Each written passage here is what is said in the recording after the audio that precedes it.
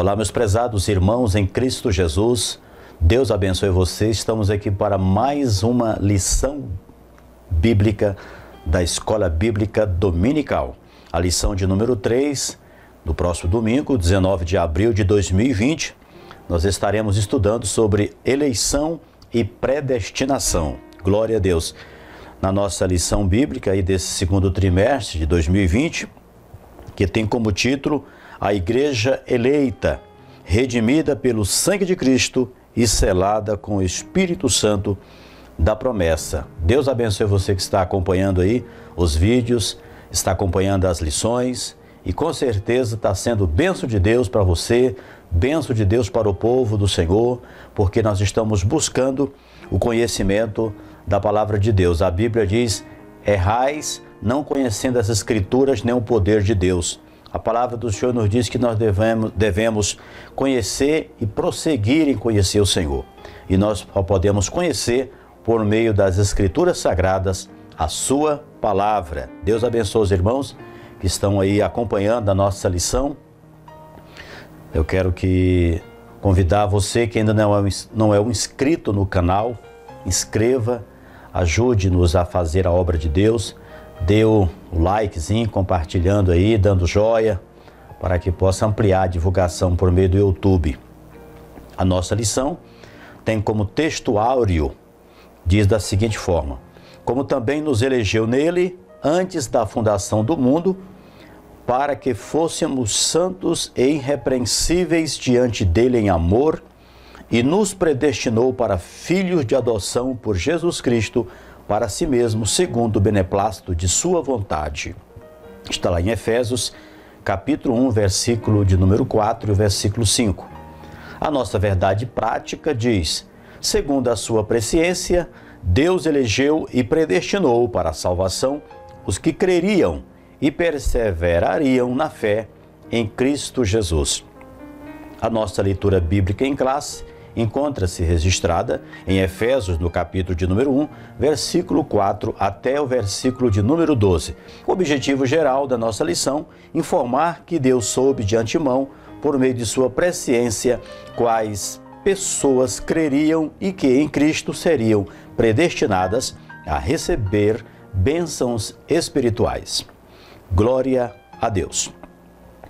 Nós temos a nossa introdução que diz: Nesta lição abordaremos os conceitos bíblicos e a interpretação pentecostal referente à eleição e à predestinação. Então está aqui esses dois assuntos importantes que nós estaremos estudando na nossa lição, comentada aí pelo pastor Douglas Batista, da CPAD.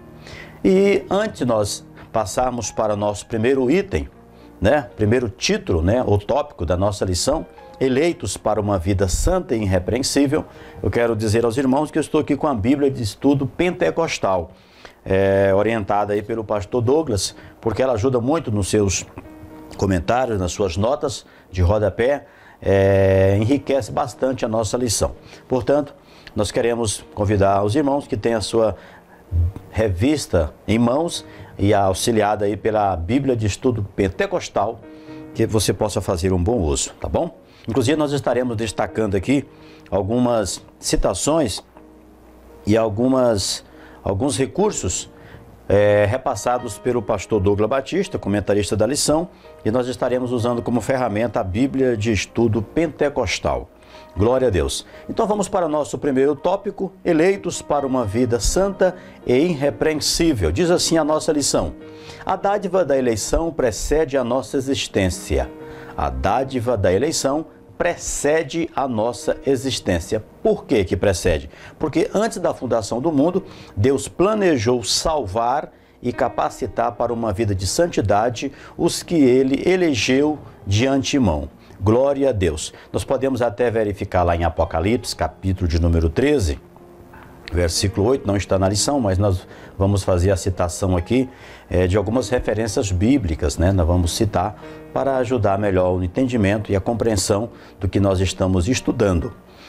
Glória a Deus. Apocalipse 13, 8, versículo, versículo 8, a parte B, diz assim: Cordeiro que foi morto desde a fundação do mundo. O que, que isso significa?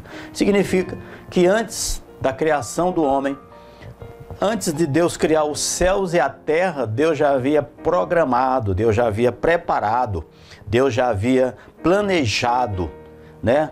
É, a vinda de Jesus. Podemos até dizer, como diz a Bíblia, o cordeiro que foi morto antes da fundação do mundo. Então, no plano de Deus, Jesus já havia morrido, já havia criado a sua igreja para a glória, honra e louvor do seu nome. Este é o Deus que nós servimos, Deus que conhece o presente, o passado e o futuro, e um Deus que está preocupado muito, muito, mas muito mesmo conosco.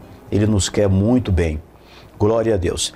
A nossa, o nosso primeiro subtópico da nossa, da nossa revista diz: a eleição divina traz-nos a ideia de escolha. Então, essa eleição divina, é, que significa é, nada mais do que escolha, nós podemos ver lá em Efésios capítulo 1, versículo 4 da nossa lição, que diz, como também nos elegeu nele, antes da fundação do mundo, para que fôssemos santos e irrepreensíveis diante dele em caridade. Está aqui a nossa lição, ou em amor, conforme se destaca. E com relação à eleição, o comentarista da Escola Bíblica Dominical destaca aqui na nossa, no nosso estudo, na página 1808 da nossa Bíblia de Estudo Pentecostal, ele destaca o seguinte: a eleição refere-se à escolha feita por Deus em Cristo de um povo para si, a fim de que sejam santos e inculpáveis diante dele. Então está aqui as razões por qual Deus fez a eleição, ele nos escolheu para ele. Então nós vamos aprender aqui a respeito desta eleição e da predestinação. Com relação à eleição, nada mais é do que a escolha feita por Deus. É por isso que o Senhor Jesus ele diz: "Não foi vós que me escolheste", ou seja, não foi vós que me elegeu, mas foi eu que escolhi a vós. Está lá em João para que vades e deis frutos, a fim de que o vosso fruto permaneça. Glória a Deus. Então não foi Deus, ou seja, não foi nós que escolhemos Deus, foi Ele que nos escolheu.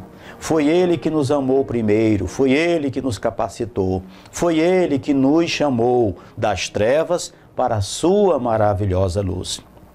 Glória a Deus. Nós poderíamos ter sido abandonados para sempre por Deus, mas Ele provou que nos amava e provou que nos ama, como diz Paulo, porque Deus prova o seu amor para conosco, em que Cristo morreu por nós, sendo nós ainda pecadores. Glórias seja dada ao nome do Senhor. Então, com relação à eleição divina, em quem fomos escolhidos? Em Jesus. Por isso ela é cristocêntrica. Segundo, em que tempo se deu esta escolha? Pergunta aqui o comentarista. O tempo é dito como antes da fundação do mundo. Em terceiro, qual a finalidade? Para que fôssemos santos e irrepreensíveis, santos para Deus, separados. Glória a Deus, separado. Essa palavra santo aqui, ela significa separado. E irrepreensíveis, sem culpa, né? Perfeito e é assim que a palavra de Deus determina e nos orienta para que nós possamos viver a nossa vida. Glória seja dada ao Senhor. Em quem fomos escolhidos? Em Jesus Cristo. Quando? Desde a fundação do mundo. Antes de você vir a este mundo, antes de você nascer, Deus já se preocupava com você. Deus já havia estabelecido algo muito importante, especial para você e para mim. Eu lembro da oração 17 e 20 de João, quando Jesus orava ao Pai, ele dizia: Pai, eu rogo não somente por estes que tu me destes, por estes que estão aqui, mas eu também oro por aqueles que pela tua palavra hão de crer em mim. Jesus estava orando por mim e por você. Jesus estava orando pela igreja no Brasil. Jesus estava orando por, por todos nós. Glória seja dada ao Senhor.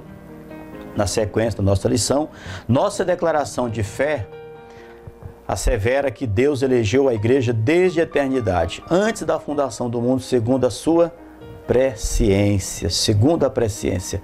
E nós podemos ver no texto aqui de 1 Pedro, capítulo 1, versículo 2, que diz assim: Eleito segundo a presciência de Deus Pai, em santificação do Espírito, para a obediência e aspersão do sangue de Jesus Cristo, graça e paz vos sejam multiplicadas.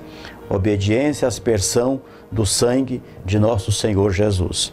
Então fomos comprados, eleitos segundo esta presciência de Deus, que tudo conhece. Ele é Deus onisciente, onipotente, onipresente, está presente em todos os lugares, conhece todas as coisas e é o nosso Deus todo-poderoso. Para quê? Para obediência à aspersão do sangue de Jesus Cristo. Então Deus exige agora obediência de nós. Deus, sem você e sem eu, ele continua sendo Deus. E nós, sem Deus, o que nós seremos? Portanto, meus prezados irmãos, está aqui a nossa lição, nosso entendimento. Estamos estudando sobre a eleição em Cristo Jesus, eleitos segundo o Senhor Jesus, conforme o sacrifício de Jesus, eleitos para vivermos uma vida separada, santos e repreensíveis, santos seja separados para Deus, não separados do mundo, porque nós estamos no mundo, como diz a Bíblia. Disse Jesus: Nós estamos no mundo, mas nós não somos do mundo. Porque se nós fôssemos do mundo, o mundo nos amaria. Mas por que, que nós estamos no mundo? Nós estamos aqui para testificar de Jesus, que é luz neste mundo de trevas. Estamos aqui para sermos exemplos. Estamos aqui para testemunhar do poder de Deus. A, a igreja de Jesus, ela é luz, ela é sal. E o sal que, para, para que serve? O sal serve para preservar e também serve para provocar sede. E é o que a igreja do Senhor Jesus tem como papel fundamental nesta vida preservar, ou seja, através da nossa vida, do nosso testemunho, manter é, e assim representarmos Deus aqui neste mundo e provocar sede, fazer com que as pessoas tenham vontade de ouvir de Deus, a palavra de Deus, por meio do testemunho da igreja. Nós estamos aqui com este objetivo. Por isso nós estamos no mundo, mas nós não somos do mundo. Estamos com esta missão. É igual o barco. O barco, ele tem que estar na água mas a água não pode entrar no barco. Se a água entrar, obviamente este barco irá afundar. Portanto, nós estamos no mundo, mas nós não precisamos de nada do mundo para nós vivermos no sistema mundano. Nós temos o nosso paradigma, ou seja, o nosso modelo, e o modelo já está estabelecido por Deus por meio da palavra do Senhor, por meio das Escrituras. Glória a Deus. Vamos para mais adiante, vamos avançar nossa lição. Agora vamos para o subtópico, né, o 2 da nossa lição, que diz: as condições da eleição. Bem, é oferecida a todos. Bom, está aqui a nossa lição e conforme a eleição em Jesus é para todos. Jesus não morreu para uma meia dúzia, nem para uma dúzia, nem para um grupo de pessoas, nem para uma nação, nem para uma tribo, nem para um povo. Jesus morreu por todos. Nós encontramos lá em João 3,16 um texto muito citado por pregadores e que todos conhecem esse versículo da Bíblia, esse versículo da Bíblia, citado por Jesus, escrito por João a Nicodemos, porque Deus amou o mundo de tal maneira que deu seu Filho unigênito, para que todo aquele que nele crê não pereça, mas tenha a vida eterna. Então Deus amou o mundo, não foi um grupo, mas todo o mundo, todos os seres humanos, e enviou Jesus para que pudesse alcançar por meio do Evangelho toda a humanidade. Glória a Deus. Nós encontramos em 1 Timóteo, conforme nossa lição, no capítulo 2, versículo 4 até o versículo 6, a nossa lição e esse texto bíblico diz: Quer que todos os homens se salvem e venham ao conhecimento da verdade. No versículo 5, porque há um só Deus e um só mediador entre Deus e os homens, Jesus Cristo, homem, o qual se deu a si mesmo em preço da redenção ou de redenção por todos para servir de testemunha a seu tempo. Então, Deus mandou Jesus, ou enviou Jesus, para que pudesse, por meio da redenção do seu sangue, salvar a todos. Então, o que Deus deveria fazer por nós, ele já fez. Nos enviar Jesus, o presente de Deus. Agora compete a nós guardarmos a palavra do Senhor, aceitarmos este presente. Glória a Deus. Mais adiante, a nossa lição diz: desse modo, fomos eleitos por iniciativa divina, por causa da graciosa obra de Cristo e não pelas nossas obras. Está lá em Efésios capítulo 2, versículo de número 8 e 9. A nossa lição, ela destaca esta referência bíblica Efésios capítulo 2, versículo 8 e 9. Porque pela graça sois salvos por meio da fé. E isto não vem de vós, é dom de Deus. Não vem das obras para que ninguém se glorie. Glória a Deus. Deus, na sua sabedoria, ele já estabeleceu a sua salvação por meio de Cristo. Por isso que a ele toda glória. Porque para que o homem não se gloriasse, Deus ele estabeleceu a salvação conforme a nossa lição aqui, pela graça sois salvos. O que é graça? Favor não merecido de Deus. Pela graça sois salvos, e isto não vem de vós, é dom de Deus, tudo vem de Deus. Tiago capítulo 1, versículo 17.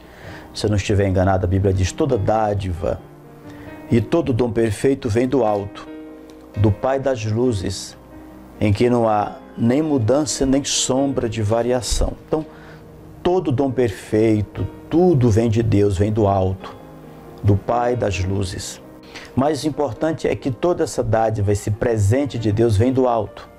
Do alto se procede a vida, do alto vem a graça, do alto vem a nossas, a, a, o que nós necessitamos para a nossa sobrevivência. Tanto é que quando Jesus morre lá na cruz, que ele dá o brado de consumado, a Bíblia diz que o véu do templo se rasgou de alto a baixo. Não foi de baixo para cima, foi de alto a baixo. A Bíblia diz que se nós já ressuscitamos com Cristo, devemos pensar nas coisas que são lá de cima, do alto, onde Cristo está sentado. Então tudo procede do alto. Do alto é a nossa razão da vivência, da nossa vivência aqui na terra, da nossa sobrevivência, da nossa existência. Tudo provém de Deus, para a glória do seu santo e maravilhoso nome. Na sequência, vamos para o nosso terceiro subtópico: vida santa e irrepreensível Aqui diz o seguinte: santos e irrepreensíveis diante dele. Então, santo separado, como já destacamos na, no, no primeiro subtópico da nossa eleição, a respeito da eleição divina, vida santa e irrepreensível. Então, é o que o Senhor Jesus, por meio do Espírito Santo, faz na vida do crente. E agora o que nós devemos fazer para vivermos e agradarmos a Deus é viver nesta vida de santidade e de forma irrepreensível, separados e de forma perfeita para o Pai. Por que perfeita? Porque Deus ele é perfeito. Essa perfeição não significa que nós não venhamos pecar, mas esta perfeição ela está relacionada à nossa vida de dedicação, de sinceridade ao Senhor. Devemos ser sinceros para com Deus. Deus conhece o nosso coração e ele sabe a intenção dele. E nós por isso e por isso nós precisamos é, zelar da nossa vida, do nosso comportamento. Deus abençoe você que está assistindo aí a nossa grande EBD, em nome de Jesus. A nossa lição também destaca santo, que significa separado do pecado, e repreensível, algo sem defeito, ou inculpável, ou perfeito, né? A Bíblia diz em Mateus 5,48: Sede vós perfeito, como perfeito é vosso Pai que está nos céus. Glória a Deus. Os termos apontam para a santificação isto é, o mais alto padrão ético e moral de vida para agradar a Deus. Então, está aqui a nossa, a nossa responsabilidade. E, e quando se trata da questão de irrepreensível, que representa ou que expressa algo é, sem defeito ou inculpável, Está lá em Filipenses, no capítulo 2, versículo 15, a Bíblia diz: Para que sejais irrepreensíveis e sinceros, filhos de Deus inculpáveis no meio de uma geração corrompida e perversa, entre a qual resplandeceis como astros no mundo, como nós falamos anteriormente, como astro. Então é o papel nosso de resplandecer neste mundo de trevas como astros de Deus, como representantes do Senhor, com testemunho de vida e como sal provocando sede nas pessoas. Nós vamos agora avançando, vamos para o nosso quarto subtópico, que diz a nova vida dos eleitos. O tema é apresentado com exortações contra a velha conduta. Glória a Deus. E dentro desse texto, é importante nós destacar com relação à velha conduta, nós queremos destacar aqui essa, essa, essas duas palavras, velha conduta.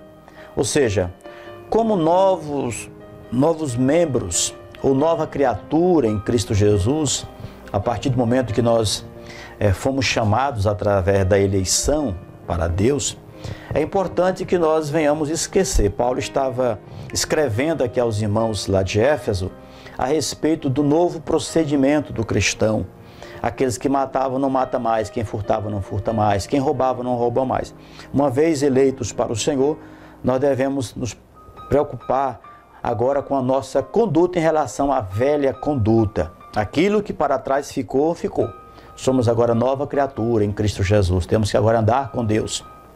Glória a Deus. Lá em 2 Coríntios, capítulo 5, versículo 17, a Bíblia diz: Assim que se alguém está em Cristo, nova criatura é. As coisas velhas já passaram e eis que tudo se fez novo. As coisas velhas não hão de passar, ou seja, já passaram. Paulo estava destacando aqui para a igreja de Corinto, mas que vale perfeitamente para a igreja de Éfeso, com relação e para nós, porque toda essa lição, meus amados irmãos, a preocupação aqui não é, não é só conhecer o que Paulo escreveu para Éfeso. O importante também nesta lição é a aplicação pessoal. Cada item, subitem da nossa lição nós temos que transportar para a nossa realidade, a nossa aplicação pessoal. Então, nós devemos ter muito cuidado com a, a conduta, o nosso comportamento de vida. Nós pregamos o Evangelho muito mais com o nosso testemunho do que com o que nós falamos. As pessoas, a nossa vida é uma carta lida diante dos homens, como diz a Bíblia. Tem muita gente olhando para você, olhando para mim, e compete nós mantermos a nossa vida de testemunho para que as pessoas possam terem sede de seguir a Jesus. Eu lembro de me perfeitamente, lembro perfeitamente do momento que Paulo estava diante de Festo, e Festo deveria encaminhar Paulo a Roma, Paulo para ser ouvido por César, e ele não estava achando como encaminhar Paulo, e ele desejou chamar a Agripa, para que a Agripa pudesse dar um conselho para ele, dizer o que, que ele poderia fazer. A Bíblia diz que a Agripa chegou ali e Paulo começou a relatar para Agripa a sua vida. A Agripa ele, ele, ele conhecia um pouco das Escrituras os salmos, dos profetas, e ele começou a relatar a visão dele, toda a vida dele para a gripa, e ele relatou perfeitamente a visão, que ele foi obediente, está lá em Atos dos Apóstolos, e a Bíblia diz que quando Paulo termina de relatar, o Agripa olha para Paulo e diz para Paulo: Paulo, por pouco tu me persuades a me tornar um cristão. Ou seja, o testemunho de vida de Paulo estava impactando a Agripa. E é isso que o Evangelho deve fazer nas pessoas impactar provocar sede nas pessoas. Então é por isso que nós temos que ter muito cuidado com a nossa conduta. Aquelas coisas que nós praticávamos antes de conhecer a Cristo, devemos deixar para lá. Inclusive a nossa lição fala com relação mentira, furto, palavras torpes, amargura, ira e cólera. E ainda severas advertências contra a fornicação, impureza, avareza e embriaguez. Inclusive essas palavras torpes, a Bíblia Sagrada diz: Não sai de vossa boca nenhuma palavra torpe, senão para edificação. Glória a Deus. A finalidade é apresentar a Deus uma igreja gloriosa, sem mácula, sem ruga, sem ruga, mas santa e irrepreensível. Não obstante, somente o Espírito Santo capacita o crente para esse novo estilo de vida. Trata-se, portanto, de um processo contínuo de santificação até a glorificação final no dia de Cristo. Glória a Deus. Então, nós estamos vivendo aí um processo de santificação para um dia chegarmos ao estado de santidade quando a trombeta tocar. Quando chegar o dia de Cristo, a Bíblia diz que quando ele se manifestar, o que é mortal se revestirá da imortalidade, o que é corruptível se revestirá da incorruptibilidade. Então, quando a trombeta tocar, nós seremos transformados, sairemos do processo de santificação e chegaremos ou entraremos no estado de santidade. Lembrando que a palavra de Deus, ela nos manda sermos santos, porque o Senhor é santo, e sem santificação ninguém verá o Senhor. A nossa lição, nós vamos agora para o nosso próximo, é, nosso próximo assunto, que no caso agora nós estaremos estudando a predestinação, predestinados para filhos de adoção. Nós estudamos aí no item, no primeiro tópico da lição, a eleição, Agora nós passaremos para a predestinação. Lembrando que Deus nos elegeu em Cristo para a salvação, bem como para viver uma vida santa e repreensível. Resumindo aqui a nossa questão, aí do tópico ainda relacionados à eleição. E no 2 agora, predestinados para filhos de adoção. A predestinação, o termo grego está se refere a, a, vários e profundos assuntos, mas mais em diante, abaixo diz o seguinte: a eleição ela é a escolha feita por Deus em Cristo de um povo para si, e que a predestinação abrange o que acontecerá ao povo escolhido por Deus. Glória a Deus. Está lá em Efésios capítulo 1, versículo 5, nós vamos fazer essa leitura. Efésios capítulo 1, versículo 5, diz, diz da seguinte forma: E nos predestinou para filhos de adoção por Jesus Cristo para si mesmo, segundo o beneplácito de sua vontade. Glória a Deus. Então nós encontramos aqui com relação à predestinação. Enquanto que a eleição é a escolha, a predestinação é o objetivo dessa escolha. Para que fomos escolhidos? Para ir para onde? Para morarmos com o Senhor para morarmos com Deus, para vivermos ao lado do Senhor para sempre. Então a escolha foi a eleição, a predestinação é para onde nós estaremos indo. Inclusive nós temos uma a própria é, Bíblia de Estudo Pentecostal na página de número 1809 ou 1809, a página da nossa lição, nós temos aqui nesse estudo eleição e predestinação, nós temos aqui lá embaixo, nós temos um resumo.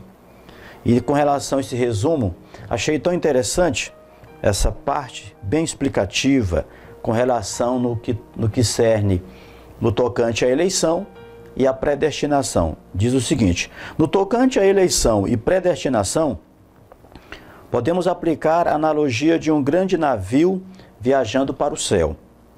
Deus escolhe o navio que representa a igreja, para ser sua própria nau. Cristo é o capitão e piloto desse navio. Todos os que desejam estar nesse navio, eleito, podem fazê-lo mediante a fé viva em Cristo. E quanto permanecerem no navio, acompanhando o seu capitão, estarão entre os eleitos. Caso alguém abandone o navio e o seu capitão, deixará de ser um dos eleitos. A predestinação concerne ao destino do navio e ao que Deus preparou para quem nele permanece. Deus convida todos a entrar a bordo no navio eleito mediante Jesus Cristo. Então, para onde este navio está indo? Para o céu, para estarmos lá junto com o Senhor Jesus. Então, está aqui um, um assunto bem explicado, uh, um texto bem explicado e resumo do estudo da Bíblia de Estudo Pentecostal, na página 1809. Glória a Deus. Na sequência aqui do nosso primeiro subtópicos, do segundo tópico da lição, e perseveram até o fim. Então, é o que está aqui é, enfatizando a questão da predestinação. Muitos foram chamados. Agora, dentro da predestinação, aqueles que abandonarem a Cristo, abandonarem a fé, abandonarem o navio, abandonarem a, na a nave, abandonarem esta embarcação, não poderão chegar. E é importante nós entendermos isso.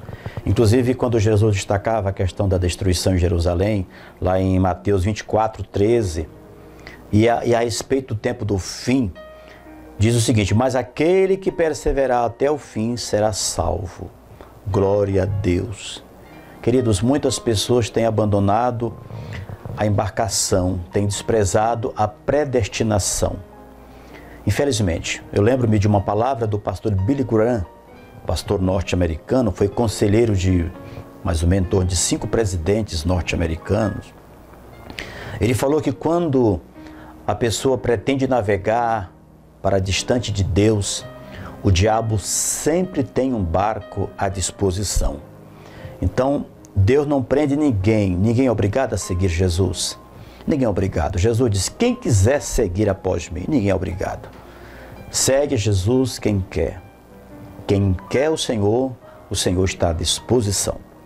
A nosso, o nosso segundo subtópico diz: Filhos por adoção. Paulo é o único escritor do Novo Testamento que emprega o termo adoção. Romanos capítulo 8, versículo 15, a Bíblia diz: Porque não recebeste o espírito de escravidão para outra vez estardes em temor, mas recebeste o espírito de adoção de filhos, pelo qual chamamos Abba Pai, ou Pai meu, ou Pai querido, ou meu Pai. Uma expressão que antigamente só os judeus poderiam, poderiam usar esta expressão. Mas o Senhor fez com que a igreja, de um modo geral, formado por judeus, por gentios, pudesse dirigir a Deus dizendo: Abba, Pai, Pai meu, meu querido Pai. Glória a Deus, meus irmãos, graças a Deus. Na nossa sequência da nossa lição, diz: Ele ainda assinala que o amor foi o que moveu o Pai a nos adotar. Glória a Deus. A Bíblia diz: Bendito seja Deus e Pai de nosso Senhor Jesus Cristo, que por que segundo as suas muitas misericórdias nos gerou de novo para uma viva esperança. Tudo por meio do amor do Pai. Glória a Deus. Deus amou tanto nós que enviou seu Filho. Jesus nos amou tanto que se entregou por nós. E o Espírito Santo nos ama tanto que ele geme, ele intercede por nós com gemidos inexprimível e ele nos ajuda nas nossas fraquezas e ele se entristece quando nós pecamos contra o Pai, contra o Filho ou até mesmo contra ele. Então toda a Trindade tem no seu sentimento a tristeza quando nós pecamos e tem a alegria de amor quando nós amamos e obedecemos a Sua palavra. Glória a Deus. O nosso terceiro subtópico diz: os privilégios da adoção. Deus criou o ser humano para estar em comunhão com Ele, mas o pecado rompeu com essa dádiva. O pecado entrou na vida da humanidade. Eu sempre costumo dizer que Gênesis capítulo 3 é o capítulo mais triste da Bíblia, pois ali revela a queda do homem. Ali revela a queda do momento em que o homem foi enganado pela serpente e ali o homem se afastou de Deus, mas Deus providenciou o meio por meio de Jesus. Glória a Deus. E mais abaixo diz: Deus concede a redenção e a remissão dos pecados ou de pecados e restabelece a comunhão com o pecador, dando-lhe o direito de clamar: Abba, Pai. Gálatas capítulo 4, versículo 6. Isto é, o direito de ter intimidade com o Pai.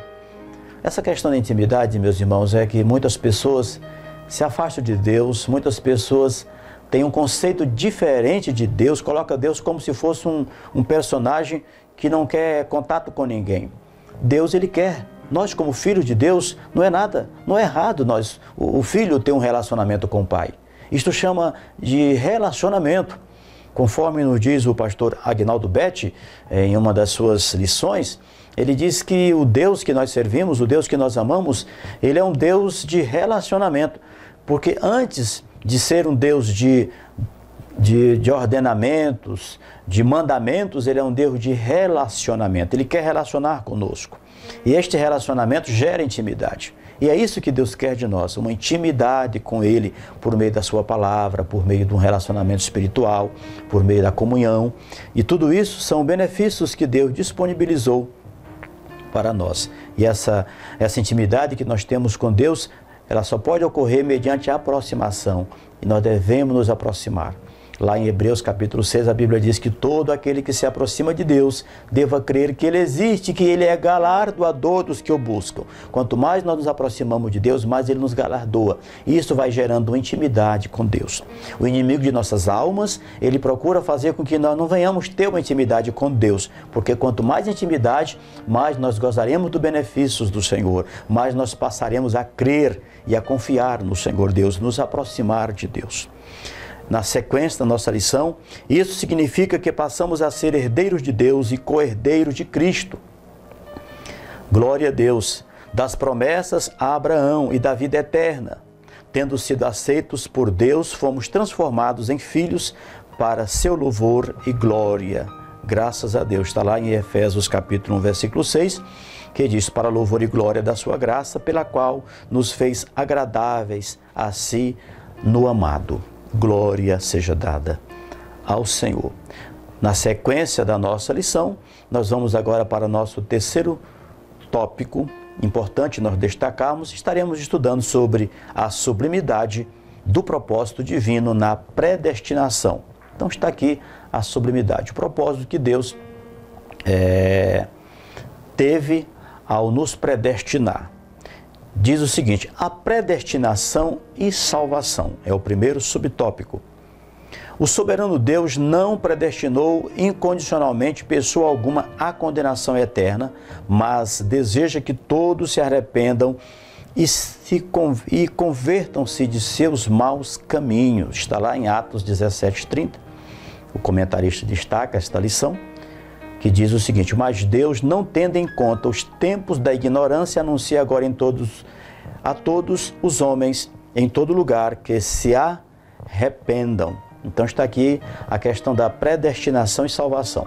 Dentro da predestinação, como já falamos, o comentarista fala que não predestinou incondicionalmente pessoa alguma à condenação eterna. Ou seja, Deus não disse fulano de tal vai para o inferno. Não, Deus não predestinou. Tanto é que a palavra de Deus lá em, é, em Mateus 25, 41, Diz o seguinte: Então dirá também aos que estiverem à sua esquerda: Apartai-vos de mim, malditos, para o fogo eterno preparado para o diabo e seus anjos. Aqui o Senhor Jesus destaca, e Mateus escreve, ele destacando que o inferno foi feito para o diabo e seus anjos, não foi feito para o homem. E talvez alguém pode falar, pastor, mas só existe dois caminhos. E se o ser humano não for para o céu, só existe outro caminho da perdição. Olha, se o homem vai para o inferno, não foi Deus que mandou, não foi Deus que determinou como fosse, foi uma escolha dele. É por isso que na eternidade, quando nós comparecermos perante o Senhor e aqueles que não comparecerem para serem salvos, o homem irá para o inferno não por ele ser pecador. Ele não vai para o inferno por ele ter cometido um pecado. Ele vai para o inferno por ele ter desprezado a graça de Deus. O homem ficará fora do reino dos céus por desprezar o presente de Deus. Esta é a maior situação caótica da vida de qualquer ser humano, é o homem que não reconhece o sacrifício de Jesus. A Bíblia é bem clara, porque Deus amou o mundo que deu seu filho, é o presente de Deus. Na eternidade, Deus não vai perguntar se você foi uma pessoa rica ou foi pobre, se você estudou ou não estudou, se você teve cultura ou não teve, se você era alto ou baixo, se você teve fazenda ou não teve, teve diplomas na parede, doutorado, pós-doutorado. Deus não quer saber nada disso. Deus quer saber se você tem o que ele te deu. E o que, que Deus deu? Jesus. Então o homem, a vida do homem não consiste na abundância de bens que ele possui consiste em ter a herança de Deus em Cristo, que é Jesus. O homem que tem Jesus, ele tem tudo, como diz o meu amigo Antônio Gomes da Rocha. Ele sempre costuma dizer: Eu sou o homem mais rico da terra, porque eu tenho Jesus agora. Glória a Deus, Deus abençoe. Graças a Deus. Então, meus irmãos, quem tem Jesus tem tudo. Então, dentro da nossa lição, nós, dentro desse subtópico, predestinação e salvação, está bem claro, mas deseja que todos se arrependam e convertam-se de seus maus caminhos. Então o Senhor Deus, ele quer que todos se arrependam dos seus pecados. Foi para isso que Jesus se manifestou, foi para isso que Jesus veio, para perdoar os pecados. Ele mesmo disse: Eu não vim para ser servido, mas para servir e dar a vida em resgate. Que Deus abençoe de forma muito especial o seu coração, tá? A nossa conclusão, estamos chegando ao final, diz: Cristo morreu por todos e por cada um dos pecadores, desde a eternidade, segundo a sua presciência em Cristo, Deus elegeu e predestinou os que creriam e perseverariam na fé a viver em santidade, receber a filiação divina e a desfrutar de todas as bênçãos espirituais divinamente estipuladas, dadas pelo Senhor. Deus abençoe você, meus prezados irmãos, alunos da Escola Bíblica Dominical. Que a graça de Deus esteja na sua vida. Obrigado você que ficou até aqui conosco. Compartilhe esta lição aí nos seus grupos de WhatsApp, de Facebook e vamos adorando ao Senhor e fazendo a sua obra até o dia de Cristo. Deus abençoe. Em nome de Jesus, compartilhe, inscreva em nosso canal, dê o like, dê o joia. E muito obrigado por você ter continuado nesta lição e, estar, e ter ficado conosco até aqui. Deus abençoe em nome de Jesus. Amém. E até a próxima oportunidade.